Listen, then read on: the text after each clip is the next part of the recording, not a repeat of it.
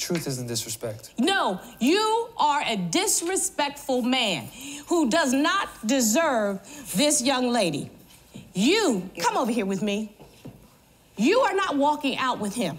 I am doing an intervention. Robert, take this woman.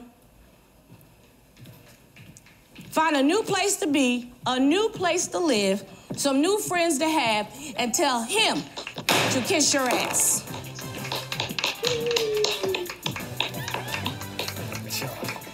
You a zero.